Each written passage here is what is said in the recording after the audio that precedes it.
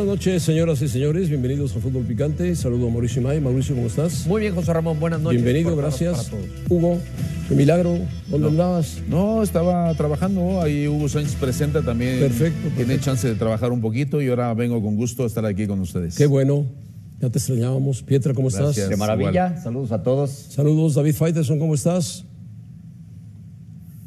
Bien, José Ramón, yo asombrado no por el 7-0 del fin de semana de, de Cruz Azul sobre la del América sobre el Cruz Azul, sino asombrado porque tú ya te rendiste. Es decir, dices que el América va a ser el campeón del fútbol mexicano. Dios mío, José Ramón, ¿qué te está pasando? Nada, Faitelson, ¿Qué nada. te está pasando? Veo la realidad. Me adelanto al futuro, como tú. Y, y ha dicho otras cosas, Deberías ¿eh? adelantarte Ha dicho futuro. otras cosas también en otros, en otros frentes, en otros lugares. Bueno, debe- Ah, deberías sí. estar contento. No tú, eres americanista de Hueso No, Colorado. ¿yo? Oh, Dios.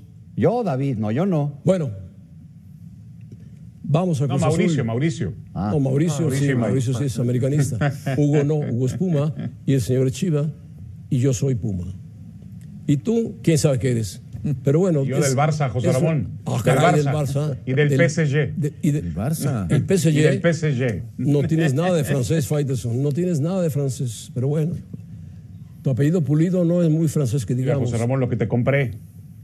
Mira lo que te compré, José Ramón. Esos ya te compré, te la llevo para allá. no duermes. Para que tomes tu cafecito. Qué bárbaro. Menudo café. Para que tomes tu café. Perfecto, Faitelson. No te enojes con lo del América. Nada más cuídate, cuídate. Vamos. No, no. Tenemos una reseña especial de lo que pasó hoy en Cruz Azul. Terrible lo que pasó en Cruz Azul.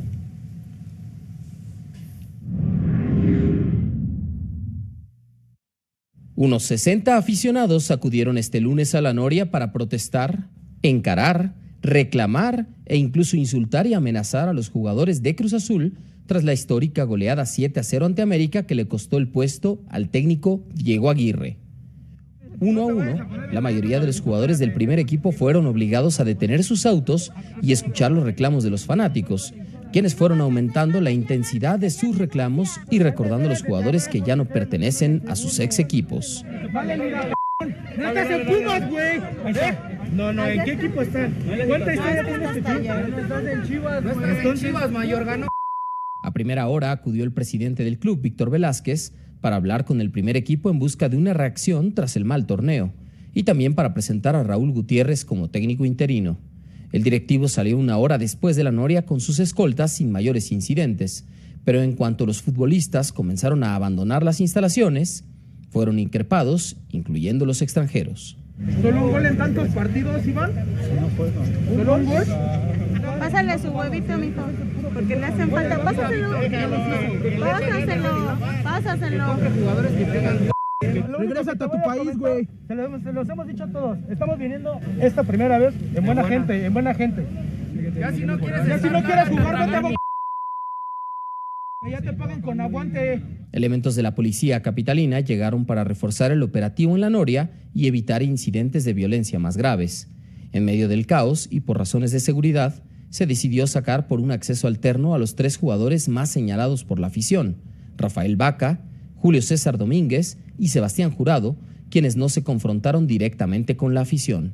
Y mientras Uriel Antuna recibió también fuertes críticas, una mujer estrelló un huevo en el cofre del auto deportivo del ex delantero de Chivas. Es lo único que hacen, güey. Rómpete la. Juegan con. ¿Qué es lo que necesitas, güey? La respuesta de los seguidores fue distinta con Nacho Rivero, a quien ovacionaron por su entrega en la cancha, y con el capitán Jesús Corona, quien fue el más receptivo de todos los jugadores. Yo trato de hablar con los compañeros, sienten una gran pena, eh, una gran impotencia. Sabemos que ustedes no se merecen eso, la institución no se lo merece y créanme que vamos a hacer nuestro trabajo. Lo que nos queda ahorita es tragarnos, si ustedes nos exigen y están en su derecho, tragarnos, callarnos y aceptarlo. Exigimos Ex- porque claro, pagamos un ticket.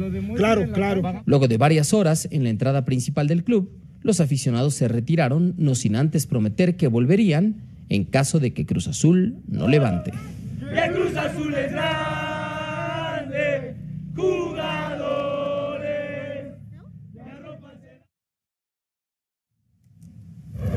Bueno, gracias a León Lecanda por presentarnos esta este bloqueo que le hicieron a los jugadores de Cruz Azul.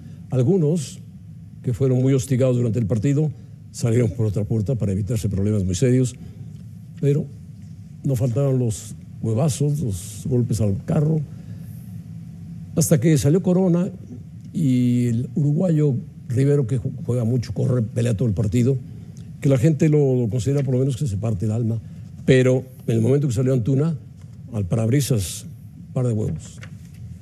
No un par, triple huevos. Porque no un par de huevos. Hugo, ¿cómo ves esta crisis de Cruz Azul?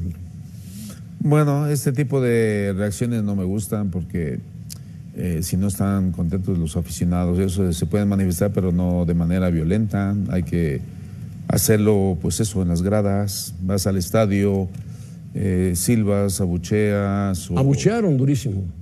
o- Y, y aguantaron la lluvia intensísima de anoche. O, sí, está bien, pero si, El sábado, ¿no? si no vas al estadio porque no te gusta lo que estás viendo, pues es una manera de hacerle ver que no estás de acuerdo con lo que está aconteciendo. Entonces, el hecho de ir a un entrenamiento y eso, eso no me gusta, no me gusta. La violencia nunca me ha gustado y esa manifestación de violencia no creo Yo que no es pregunto, ni para pregunto. ningún equipo, ni para el fútbol Esta mexicano, gente eso. no tiene otra cosa que hacer. No trabaja a las 12 del día, a las 2 de la tarde, ir a manifestarse a la Noria, a reclamar a los jugadores y el trabajo. Por lo visto tampoco estudian, José Ramón. No, No, es tampoco- que yo, tampoco yo- estudian, yo también me quedo no. pensando hasta qué grado, porque como pasó aquí, recuerdo que hace poco pasó con Monterrey, ¿se acuerdan? Sí, allá sí, lejos, sí, sí, sí. allá Totalmente, lejos, sí, sí. hasta allá fueron. ¿Hasta qué grado son grupos ahí organizados Es que que, ese es que, es, es que es, así, porque entonces si van y le dicen al jugador, échale ganas, no trabajas, ¿a qué viniste aquí? Pues si ellos, ¿a qué, a qué- qué- qué hacen ahí a esa hora también?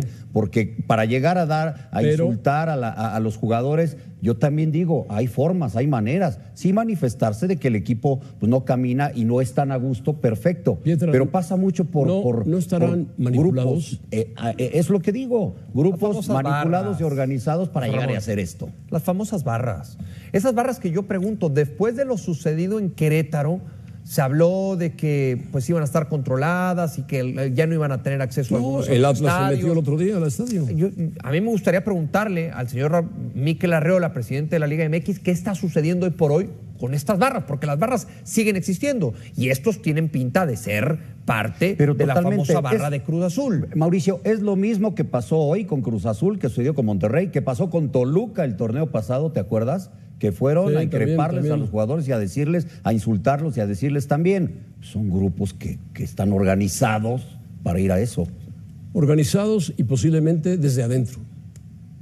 Y Del des- propio equipo, ¿eh? También puede ser, sí, claro, por supuesto. Ahora, no estamos diciendo El que, problema, que el aficionado no tiene derecho de manifestarse, pero hay formas de hacerlo, Sí, ¿no? claro. Yo me acuerdo alguna vez en el universitario, allá Claro. en Monterrey, en un partido de Tigres, los aficionados con camiseta negra, quizá te tocó aquella transmisión. o- que se daban, O- dieron o- la espalda. O que dan la espalda también. cuando sale el equipo. Hay muchas formas de manifestarse. O no compres eh, los artículos, el, el- el famoso merchandising del equipo. Claro. Haz, haz algo. No vayas pero al no estadio, vayas, como decía Hugo, Claro, pues, no, Fer. vay- no vayas y amenaces al jugador. ¿Qué decías? Ahora, ¿Qué tampoco decías? tomemos, y tampoco tomemos, no, que tampoco tomemos a este grupo pequeño, además, eh, como una representación de lo que es la afición de Cruz Azul. Yo conozco muchos aficionados de Cruz Azul que realmente están dolidos, pero están en su casa, en su trabajo y están, como dice Corona, tragándose la amargura de lo que significó esta histórica derrota. Ahora, a mí lo que me preocupa, José Ramón, es que, pues tú hablas de, grupos, hablamos de grupos, y no hay que recordar que la cooperativa, el tema en Cruz Azul es que la cooperativa está llena de asuntos políticos y de, batallas y diferencias. Al mismo tiempo en que estaban estos aficionados en la Noria, había dos grupos de cooperativistas en reforma, en pleno eh, reforma, a esa misma hora peleándose por temas de la cooperativa. Es decir, hay que recordar que Cruz Azul tiene, además del tema de fútbol, un asunto de una cooperativa, de una empresa muy incendiada en los últimos tiempos. Estamos de acuerdo, estamos de acuerdo, sí. Bueno, salió el técnico, que es lo que pedían. Bueno, no lo- El partido, desde que cayó el 2-0, Cruz Azul bajó los brazos y dijo: adiós técnico, adiós Aguirre, adiós, se acabó. Los refuerzos llegaron tarde, Ordiales salió a la primera oportunidad que tuvo se fue a la selección nacional. Y ahora, ¿qué va a pasar? El técnico es El Potro Gutiérrez, El hasta, Potro Gutiérrez. hasta ahora, ¿no? De Interino, interino, queda. interino. Mira lo que es, ¿no? Cómo han destrozado este equipo. El Potro, En bueno, un año, tiene- en un año, es un buen técnico, ¿no? En un El año. Potro. En, uno, en un año, En un pero, año. pero lo dinamitaron el equipo. Y el que hasta hace algunas semanas era el auxiliar técnico, ahora es el director deportivo, ¿no? Y el técnico que estaba en las básicas y en la sub-20, ahora es el que va a tomar el interinato. El Potro Gutiérrez. Ojalá, ojalá lo haga bien. Va a Es ir a jugar Cruz Azul sí. a Mazatlán, ¿no? No. Este, este, esta media No, no, semana no, juega. no juega. Y luego va a Querétaro, ¿no? El, el A fin de Querétaro, semana. ah, va a Querétaro, va a Querétaro. Pero a media semana no juega, no juegan los. Bueno. Ellos van a jugar hasta septiembre ese Qué partido. suerte tiene Cruz Azul. Pero, ¿qué quería la máquina? ¿Correr al entrenador? Es que es complicado. una forma de- eh, José Ramón, fíjate, eh, hay, que, hay que profundizar un poco eh, cómo empezó la situación de Diego Aguirre, ¿no? Porque Diego Aguirre, eh, yo no lo conocía. No sé si lo conocían ustedes. Eh, ¿Quién lo trajo? ¿Qué antecedentes, promotor. ¿Qué antecedentes tenía del fútbol mexicano? ¿Qué experiencia tenía De y hecho, conocimientos del fútbol Lo mexicano? coloca Jaime Ordiales. Jaime Ordiales es el que lo coloca. No lo sé. O sea, a mí me gustaría dirigía- saber. dirigió o al. San Pablo, ¿eh? dirigió en Argentina, Sí, dirigió pero- en Uruguay, en Uruguay, en pero ¿eh? Peñarol llegó no era un lejos, improvisado, sí, en ¿eh? Oye, de- de- David, ¿qué, Sí, no era un improvisado, ¿Qué ¿eh? conocimiento tenía del fútbol mexicano? ¿Y qué sabía del Cruz Azul? ¿Qué jugadores Ah, bueno, tenía y todo eso? Porque los números que, que presenta no son resultados eh, favorables. No, para nada. y el nada. juego exhibido no es un juego exhibido interesante. Así Y los que, refuerzos llegaron tarde. que ojo, que todo viene quién toma la decisión de traer a este entrenador, si realmente conoce al fútbol mexicano, conoce al Cruz Azul, sabe de los jugadores que están, sabe un poco todo eso, y ahí es donde también hay que, que las responsabilidades compartirlas y que no haya buenos resultados y la gente esté molesta, eh, intranquila. Bueno, lo puede destituyeron el, propio- el mismo sábado en la noche. Pero es que con ese resultado... Sí, claro. Es que además, si él, si él- además si él estaba no- castigado. Si José él no renunció, David, si él no renunció, Hugo José Ramón, obviamente. este asunto puede venir de, puede venir de mucho tiempo también atrás. Hay, hay una relación muy tirante. Ya la tenía Jaime Ordiales con, con Juan Reynoso. Hay que recordar que se dice ahora que el, Reynoso mandó un pliego petitorio pidiéndole a Víctor Velázquez que Jaime Ordiales se apartara por completo del equipo de fútbol, que no hiciera los viajes, que no metiera manos, eh, que no metiera mano en el equipo de fútbol. El asunto sigue, perdón la palabra, podrido desde ahí. Hoy Cruz Azul no necesita tanto un entrenador como alguien que ponga orden directivo, un verdadero director de fútbol, que sea el enlace con la cooperativa, que también calme, tranquilice los grupos que existen dentro del equipo de fútbol. Necesita un personaje de ese tamaño. A mí el único que se me ocurre, yo no soy promotor, aunque Hugo me acusa de eso, pero a mí el único que se me ocurre es Carlos Hermosillo. Tienen que No, buscar a Carlos, Carlos Hermosillo y decirle, ven para acá. Yo creo que es Fuiste- difícil que acepten ese Fuiste momento. figura del Es club. difícil, es Son- difícil. Son, tantos Bueno, los conflictos no lo sé, internos ¿eh? en No lo Cruz sé. Azul que esa figura, David, la tenían.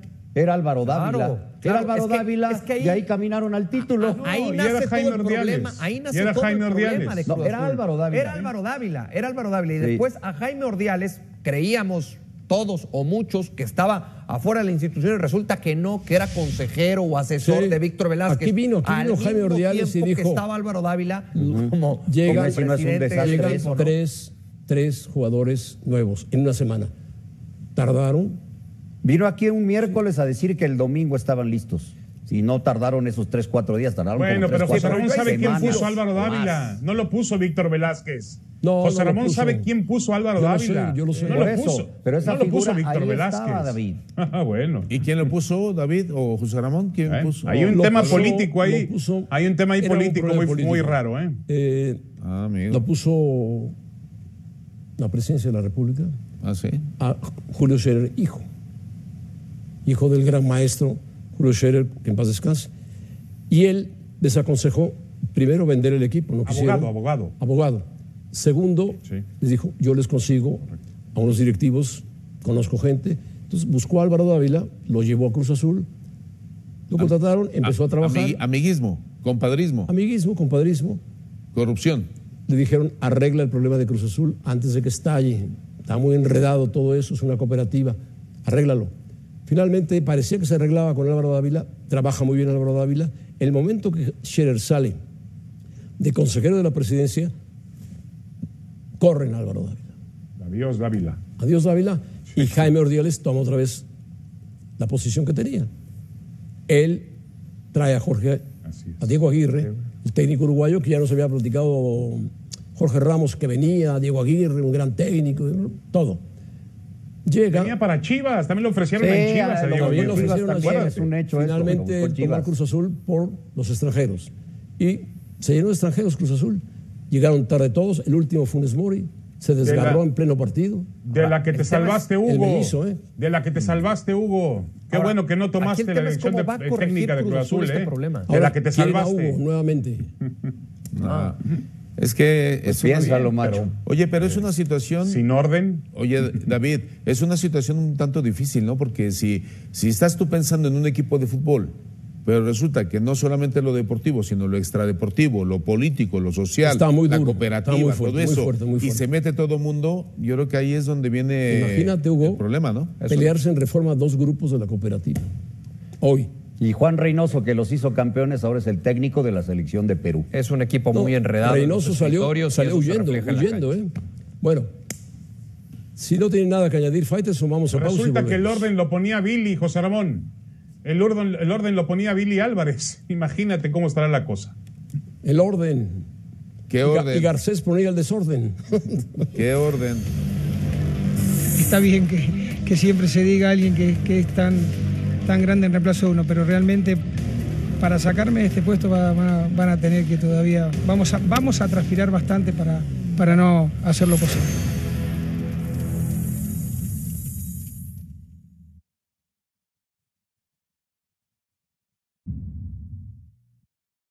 Yo el, el primer torneo que estuve acá, a las tres fechas que asumí, eh, me querían buscar reemplazantes. El segundo torneo que no empezamos bien, a la segunda fecha me acuerdo que en la transmisión de- del partido nuestro ya me buscaban reemplazantes. Y así fui siempre yo.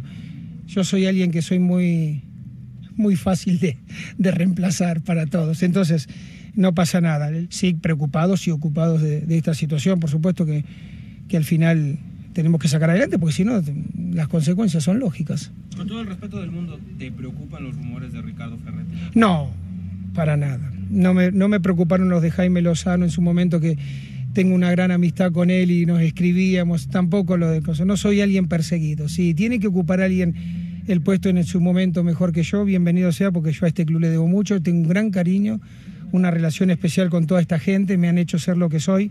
Entonces, no, por favor, al contrario. eh, está bien que, que siempre se diga a alguien que, que es tan, tan grande en reemplazo de uno, pero realmente para sacarme de este puesto va- va- van a tener que todavía, vamos a, vamos a transpirar bastante para, para no hacer lo posible. Bueno, Andrés Lilini. Las peores goleadas de Pumas, fíjense bien. Apertura 2002, 6-0 frente al Atlas de visita. Apertura 2005 frente a Cruz Azul de local, 5-0. Apertura 2012, 5-0 frente a Tigres de visita. De visita también frente a Tigres, otro 5-0. En la apertura 2018, 6-1 de visita ante la América. La encuesta que tenemos preparada para ustedes es si Andrés Lillini o Lillini es el técnico indicado para levantar a Pumas, sí o no. Usted llame, diga sí, no. Es necesario que voten para saber qué puede pasar con Lilini. ¿Hay algún reemplazo para Lilini, Hugo? Pues. ¿No te han llamado? Lo que. No, no, no. Yo ya sabes que con Pumas es mi casa y yo estoy en la mejor disposición de ayudar cuando sea. Pero en este caso, creo que lo que dijo Lilini es: si hay alguien mejor que yo que me pueda reemplazar, que venga. Hay muchos técnicos mejor que él. Pero el idóneo en esos momentos de la dificultad que tenía Pumas, lo escogieron a él y lo ha hecho muy bien. De que haya mejores técnicos que él, hay muchos. Ahora, lo que significa es de que indudablemente lo que está viviendo Pumas es un momento difícil. Es una crisis, una Y crisis. falta, falta de liderazgo. Yo le llamo falta de liderazgo ¿En la cancha o en la dirección? en la dirección. O sea, como director técnico, él va a ser difícil que venga alguien de dirección deportiva de las fuerzas básicas mejor que él en Pumas, porque él está muy identificado en ese puesto. ¿Qué va a pasar en el caso que si llega otro entrenador a suplirlo? Que si viene alguien mejor que él, sí, hay varios o muchos técnicos mejor que él, pero mejor que él en la dirección de fuerzas básicas y en este caso de Pumas, que está muy identificado y tiene que agradecer mucho. Yo creo que es un puesto que le viene muy bien y es más, hasta él mismo lo dijo cuando le dieron el, el puesto de, de técnico. Y la situación difícil del COVID, de que no había dinero en Pumas, eso le dieron ese puesto Y sacó muchos novatos. y lo hizo muy bien.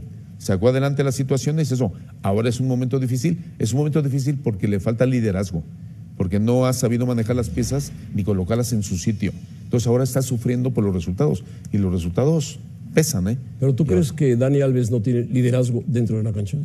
Eh, sí, por supuesto que sí lo tiene, pero cuando no hay liderazgo en la dirección técnica y no pone a los jugadores en los sitios idóneos donde pueda rendir, dadas las circunstancias de su capacidad, Dani Alves, pues Dani Alves hace lo máximo que puede, pero hay muchas piezas, ¿eh? Yo les 11 pregunto a ustedes si Lilini no puede reciclar lo que hacía antes de la llegada de Alves y de los tres argentinos, sacar más novatos y meterlos en la cancha, a que corran, que luchen. Eh, eh, es que es, es parte del tema. Cuando llega la dirección técnica Lilini, lo acaban de decir, no tenía la experiencia, venía de fuerzas básicas. Le dieron la oportunidad porque dos días antes se fue Michel. Sí. Entonces toma al grupo, lo hace muy bien. ¿Por qué? Pues porque conoce a la gran mayoría, porque los tuvo en fuerzas básicas, unos que habían estado, otros que regresaron, y entonces armó el plantel Le y a empieza a caminar, a, a caminar, vender, a a caminar. vender O sea, tuvo la capacidad porque es un tipo que sabe, ¿no? Tuvo la capacidad. Ahora se le presenta otro reto y este reto sí parece por momentos que lo está rebasando. El reto es ya jugadores más experimentados, más corridos, eh, no tanto de fuerzas básicas. Ha llegado el momento en que en el 11 inicial tiene uno solo de fuerzas básicas, llegó a tener hasta seis, Benevendo y ya. Entonces eso cuesta más trabajo. Y, y yo creo que sí es el técnico indicado en este momento para hacerles un gran reto que yo pensaría, ojalá y le, y le aguanten para que vean la capacidad de técnico, porque sí por momentos parece que lo rebasa y que en cualquier instante podrían darle las gracias porque los resultados no se están dando. Pero es principalmente eso, muy acostumbrado a trabajar con las fuerzas básicas y ha llegado a, en el 11 solamente a tener uno. Entonces, Eso, eso que acaba de decir Jorge es clave, ¿eh? De los jugadores que él le dio oportunidad de las fuerzas básicas, los jugadores le respondían en la cancha. Sí, claro, Pero al claro. estar nada más uno o dos, como mucho, en- Cuando mucho, si está partidos- Galindo ahora que, que el Palermo. Ortiz se lesionó, ¿no? Entonces Está Galindo y está poco. el mediocampista, ¿no? Luego utilizó a Marco García, pero ha habido Marco partidos García. en donde solo Benevendo. Y está el extremo izquierdo que juega muy bien, ¿cómo se llama? Rubalcaba. Rubalcaba. Y también Carlos Gutiérrez. Carlos Gutiérrez. Sí. Pero están contagiados. Los argentinos no han funcionado. Del Petre, del Prete iba a jugar atrás de Dinero, tiene que jugar extremo Empezó izquierdo, bien. no da una. Pero Salvio ¿por el otro día hizo dos Salvio goles. hizo dos goles. Iban ganando 2-0 a, a San, San Luis. 2-0 el primer Claro, tiempo. claro. Pero- pero el es- primer tiempo Claro. brillante, José Daniel. Ramón. Brillante. Sí. José Ramón, y resulta hablamos- que les ganaron 3-2. Pero hoy hablamos esto de los jugadores de cantera que no están teniendo oportunidad en el primer equipo por los malos resultados y Estamos por el acuerdo, mal funcionamiento del equipo. En el arranque del torneo eran los mismos futbolistas, los mismos extranjeros y el equipo ganaba y el equipo funcionaba. Y ahí nadie cuestionó, ¿Por dónde ahí nadie cuestionó lo de los extranjeros y lo de la poca oportunidad para los que surgieron de fuerzas Vas a básicas. caer en Alves, no, no, ya no, te no, no, voy a lo mismo de siempre. Vas a caer en Dani Siempre Alves. Y sencillamente hay que ver los resultados de Pumas en la primera parte del campeonato con los mismos futbolistas, o bueno, casi los mismos, porque no estaba Dani que Alves. Sacaron Alves un le ha hecho 3-0, daño tremendo Mauricio. al fútbol mexicano. Todavía no llegaba. Dani Alves, todavía no llegaba Dani Alves y perdieron, lo de, se dejaron empatar un partido a tres en la cancha de León, por favor, creo que se Mauricio. dejado empatar. Yo Le estoy de acuerdo que ha sido un error, ha sido un error, bueno, ha sido un error, un error de Lilini no saber administrar bien las grandes condiciones que tiene Dani Alves y también no administrar bien su tiempo en el campo de juego. Alguien me dice por ahí, yo le creo al doctor Miguel Mejía Barón, pero alguien me dice por ahí que sí existe una cláusula donde Dani Alves tiene que jugar los 90 minutos. Y es la única forma en que puedes explicar que un entrenador como Lilini no entiende que a los 39 años Alves no puede rendir bajo el sol de la ciudad universitaria los domingos a las 12 del día. Tiene que administrarlo para que Alves dé Bueno, ha 30 jugado minutos dos- dos domingos, espectaculares, dos domingos a las 15 12. minutos muy buenos. Yo tengo otra versión de pero Dani José Alves, pero Ramón, no puedo no decirla. ha perdido un solo minuto, José Imay, Ramón. No Ni un solo decirla, minuto no ha perdido. decirla. ¿Por qué? Porque involucra una marca, marca bueno. comercial. Este, y bueno, es una falta de respeto. Ah, bueno. la de la Entonces, si hay una cláusula, José David, Ramón. David, Entonces, hay una cláusula. Mejía Barón, yo Bueno. lo escuché el otro día y lo, lo vi tajantemente diciendo que no hay absolutamente ninguna cláusula que Sí, sí, sí, obligue que no hay nada. que juegue los 90 minutos, no existe. Y yo a Miguel le creo absolutamente en su palabra porque es un No, tipo yo también íntegro. sé que es Pues un hombre de no hay que una- decir eso. Pero De si una es- sola palabra, de Si acuerdo, es así, Hugo, Sí. si es así, entonces ¿por qué Miguel Mejía Barón, con el- la posición y el puesto que tiene, no ha cesado a Andrés Lilini? Porque entonces sí es incapacidad de Lilini. Porque No, no, no, tú no, no. A escuchaste unas declaraciones, unas declaraciones. Es el que está de tomando la decisión. No, o sea, no, si, no. si vamos a creer, como dice Hugo, lo que dijo Miguel Mejía Barón, Mejía Barón declaró, cláusula. pase lo que pase, Lilini termina la temporada. Pero, pero Eh, si es, está bien, Pero si entonces, es, Mauricio si es un error de se José están Ramón. equivocando los dos. Si es un error de Lilini, no sacarlo en el momento en que lo tenga Claro, que sacar. claro. O sea, así de fácil. Si es un error. El otro No, día acuerdo, 2-0 de acuerdo. y, y, y Dani Ahora- Alves estaba jugando un buen partido. Terminaron perdiendo 3-2. No pueden ya de, de repente con la dinámica. Ir en la No, noche. tenía- ¿eh? tenía la que haberlo dinámica. administrado. Es cierto lo que De dice acuerdo, David.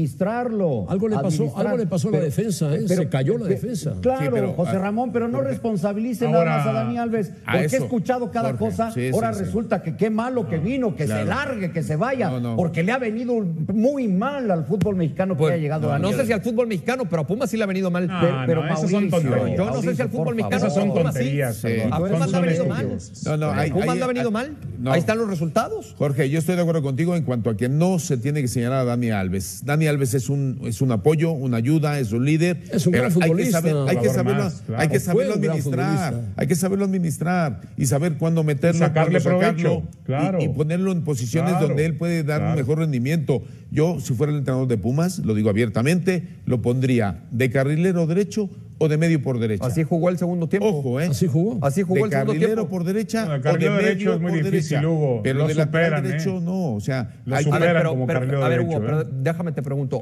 ¿como carrilero por derecha te refieres con línea de tres centrales? sí, por supuesto. Ah, ¿y quién es el otro central? Bueno, lo que pasa es que ah, también hay que ver lo que tiene Pumas. Yo si porque hoy Pumas no tiene para un tercer central. Tiene que jugar con línea de cuatro y ya lo puso en el segundo tiempo No, ayer sí, tiene por para jugar con lateral. tres. Bueno, la defensa No, de porque está Pumas. lesionado el Palermo. Pero La Palermo- defensa de Pumas bueno, ha sido un carnaval todo el Bueno, torneo. Bueno, ¿eh? jugar Uno de los equipos bien, más goleados del campeonato. como ¿eh? un tercer central por izquierda, ¿no? Ah, entonces, seguimos, Bueno, improvisando, seguimos improvisando, reconstruyendo. estoy tratando de no, bueno, explicarte pero lo es que, que si te tenía una Hugo. alineación tan definida que funcionaba bien, ¿por qué la cambiaron? Oye, Mauricio, yo te digo como técnico. Bueno, porque llegaron Sí. Mauricio, extranjeros, llegaron Bueno, extranjeros. porque ya- A ver. llegan nuevos retos, nuevos ¿Cómo? jugadores de fútbol, Mauricio, por favor. A ver, David. Tienes nuevos retos, nuevos nombres y tienes que acomodarlos en la cancha de fútbol. Claro. Nada más una cosa, Tienes Hugo. que acomodar a lo los voy a decir te al señor funcionan. Mauricio Imay para que le quede bien claro. Sí. Para que le quede bien claro. Para mí, y lo dijo Hugo también ahí, también lo dijo Hugo. Para mí, lo mejor que le ha pasado a Pumas en la última época sigue llamándose Andrés Lilini. Sigue siendo un entrenador Claro. en el que hay que tener confianza porque logró mantener a Pumas en un sitio competitivo a pesar de que no tenía los elementos para hacerlo. Y yo creo que Lilini, que Pumas va a agotar hasta la última posibilidad para que Lilini salga de esta crisis. Aquí, se- aquí se lo Yo preguntamos cuando estuvo. Andrés, ¿este Pumas es el mejor que tienes? Dijo, sí, por mucho.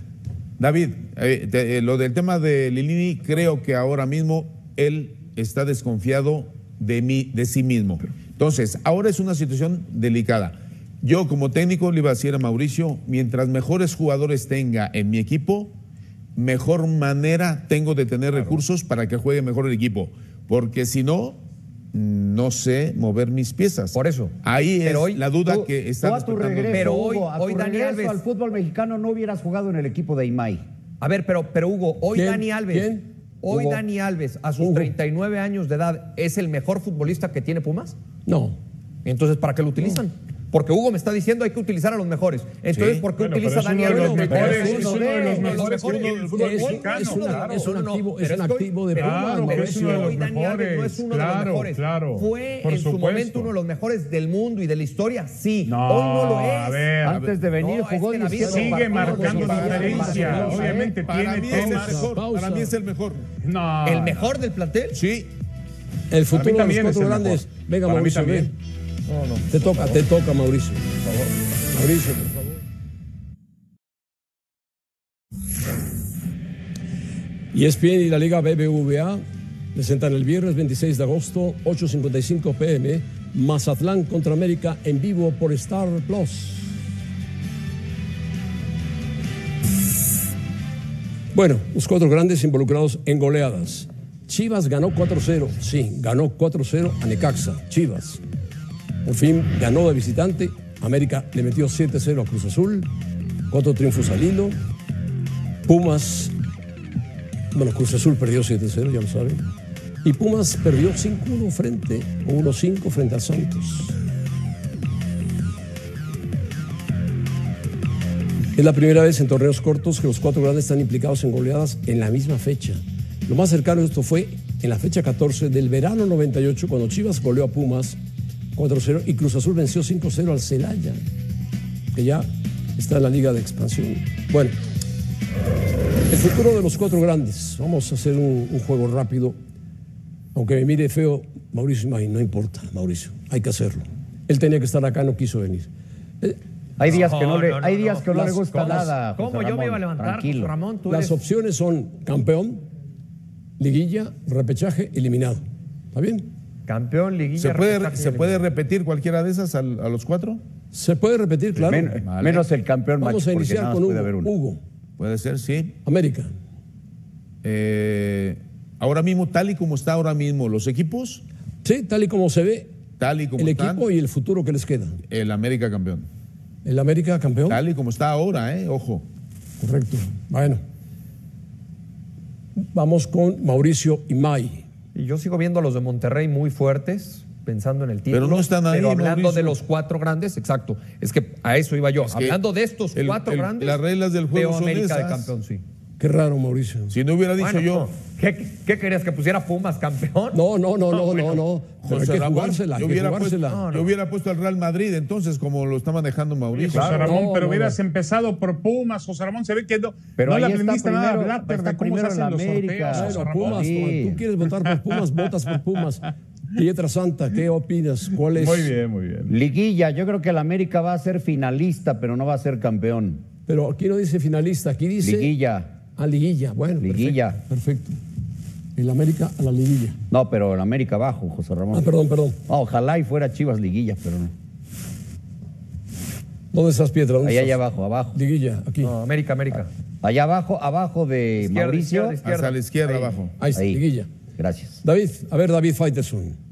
¿Qué quieres arrancar?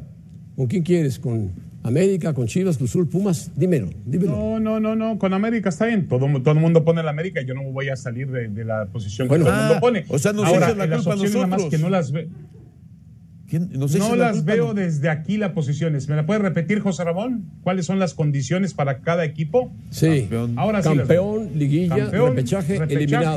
Ahí las ves eliminado. claramente, las Yo ves, voy sí. con Pietra. América se queda en la liguilla. América se queda en la liguilla. Se queda en la liguilla. Y tú ya lo dijiste, Liguilla. José Ramón. Había dicho campeón y se bajó. Se bajó Sí. del carro, ¿eh? Sí, sí, ya no entendí por qué cambió. Sí, se bajó del carro. ¿Quién? David. eh, David y Dijo había América dicho campeón y luego, no, y no, luego se liguilla, bajó. nada más. No, yo no dije campeón. Claro yo no que lo dije campeón. dijiste. Sintió la presión. No, yo no dije campeón. Claro ¿eh? que lo dijiste, No, como también no, dijiste no, que no. Dani Alves Para mí podía el jugar en campeón cualquier está posición, en ¿eh? Monterrey. También para eso mí, te lo recuerdo. Rayados, para mí Rayados Pero no está están. para ser el campeón. Pero David, Pero- no están ahí. ¿Y tú, José Ramón, qué Bueno, opinas no de está, América? No está, pues Yo entonces no. no opino.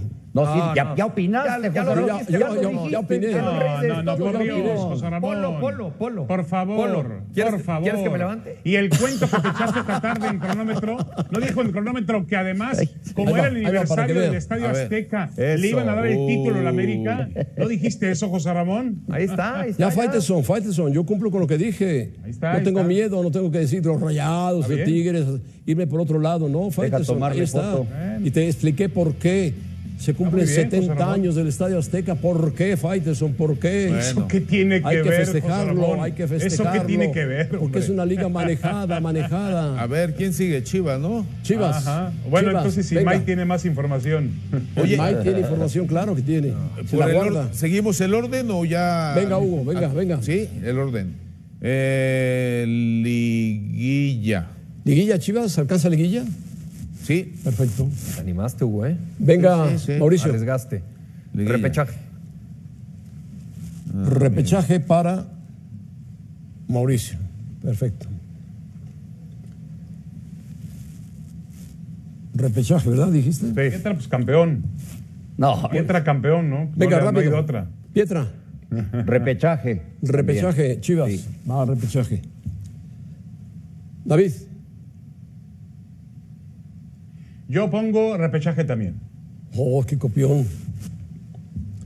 Yo pongo repechaje Bueno, también. ¿qué ponga copión. de campeón a Chivas? Muy bien.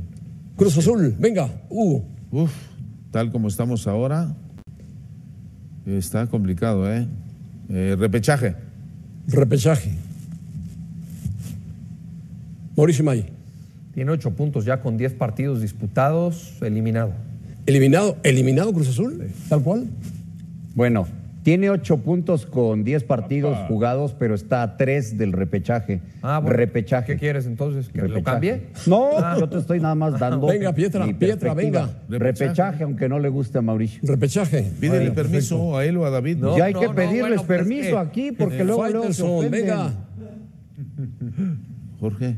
No, yo Ah, creo no, que. Cruz Azul tiene un, tiene un buen equipo de fútbol, ¿eh? Tiene un mejor equipo de lo que ha jugado hasta este momento, Bueno, no. obviamente. Di- y di creo quieres, que qué quieres, va a encontrar ¿a el camino llega? para ¿A dónde poder llega? meterse. Yo lo pongo hasta la liguilla, Cruz Azul. Hasta la liguilla. Ay. Oh. Bueno, Cruz Azul yo lo pongo en repechaje. Pumas, Pumas rápidamente, Hugo. Eh, mm, repechaje. Repechaje, perfecto. Tal y como está ahora, ¿eh? Mauricio. Eliminado. No, este Mauricio es terrible, odia Bueno, Pumas, ¿eh? Está Mauricio, Pietra, el América y-. Y, los demás. Sí. Eh, Vas repechaje. con- Vas con el verso de siempre. Repechaje, Repechaje. perfecto. ¿Cuál verso? Ese del América. David, No, pues aquí lo estoy viendo lo que pusiste. Faitelson. Bueno, es que, a ver, es que quedar eli- Oye, quedar eliminado es quedar entre los últimos de la tabla. ¿Ah, en serio? Sí, claro, ya lo sabemos, ya lo en sabemos. este fútbol. ¿En serio? Bueno, Qué bueno. Yo por eso pongo a. Pumas en reclasificación. O sea, repechaje. En reclasi- Sí, pero esos lugares están reservados para Querétaro y otros equipos. Perfecto, bueno. Por favor, Sí. Mauricio. ¿Qué, qué equipos? Repechaje. ¿Qué equipos? Yo lo quisiera Pumas campeón también, pero Perfecto, ahí quedó. Ahí quedó. ahora, ¿Eh? Tijuana, Fíjese, Querétaro. fíjese. Ah, ¿te estás metiendo con Tijuana que está dentro de los primeros cinco? ¿En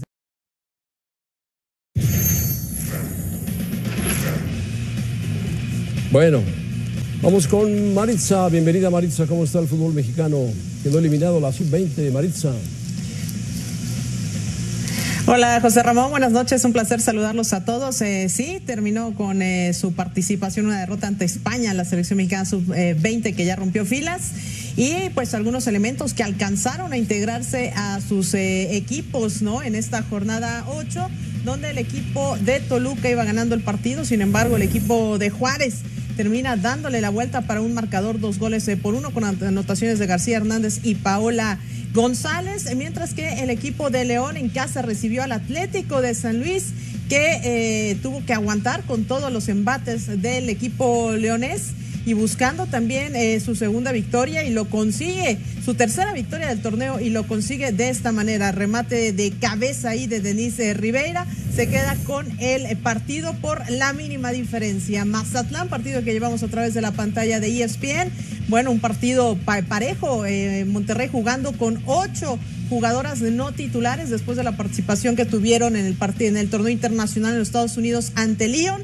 Aquí la anotación de Bárbara Olivieri que eh, jugó también como titular ese partido ante las campeonas de la UEFA y pues obviamente había que tener rotación para este partido y así lo hizo por supuesto Eva Espejo. Se queda al final con el triunfo. Jugaron apenas el sábado esta, esta final del International eh, Women's Cup en los Estados Unidos. que y bueno pues ahí se queda ¿no? pierde ante Lyon Así es, eh, pero que fue un buen partido, José Ramón, y mira que tener el privilegio de jugar ¿Buen ante de Lyon, ante las campeonas europeas, ¿Del Olympique las de Lyon máximas campeonas de la UEFA con ocho títulos. Siete, porque uno, eh, uno se lo dieron de, al Barcelona. De Lyon. Sí, Olympique de León ganó 4-0. Ha ganado Claro, siete títulos hicieron- europeos. hicieron un De espacio. ocho, el otro lo ganó el es. Barcelona. Hacen una pausa, lo gana el Barcelona y recuperan los títulos. Y ese Así es. récord que tienen, que es récord, ocho títulos en la UEFA Champions League, lo recuperan este torneo. Así que, este, pues imagínate, el placer de poder jugar ante ellas, jugarles al tú por tú hasta el minuto 35. Después un penal en el área dudoso y bueno, ya de ahí tuvo que venir eh, remando ante corriente O sea, el equipo de Monterrey, pero un buen encuentro. Y además, al Olympique de León. Un penalti dudoso. dudoso. Así es. Así es, había jugado un partidazo el equipo de Monterrey, José No Ramón, y da gusto, da gusto que puedan eh, plantearse así en, en- en la cancha. No, no había bar, José Ramón. No había, este, no había bar, pero bueno, llegamos a la mitad de este, de este torneo de la Liga MX eh, femenil y bueno, pues ya los equipos que conocemos, algunos tomando forma, Monterrey, eh, que con este triunfo se pone en la tercera posición, pero que las Chivas siguen invictas, eh, separadas ahí con Platícanos, 24 Maritza. unidades, le sigue Tigres con ¿Qué 19. le pasó a México contra España? Y también a México contra España, José Ramón, pues bueno, al final eh, tenían a la goleadora del torneo de la sub-20 y terminó haciéndoles gol. Se fueron por la mínima diferencia, después no encontraron el camino. México, Cuando Marisa, México, ¿eh? claro, compitió, Compitió. Sí, y 1-0. tuvo con qué, eh, al final ajusta a España con los cambios y termina, bueno, quedándose con el partido. Natalia Mauleón, tengo que decirlo, hizo un partidazo. Es una extraordinaria jugadora de las Águilas del América, opciones. que de verdad eh, da gusto verla jugar, ¿eh? La sí, chiquita, sí, la- sí, tuvo la- ahí algunas opciones juega México, pero derecho. bueno, no, no Juega alcanzó, bien. pero cayó No, muy juega, bien. juega bien, sí, juega bien. Bueno, Maritza. Sí. Ahí vamos, ahí vamos. Saludos. Adiós, Maritza. Gra-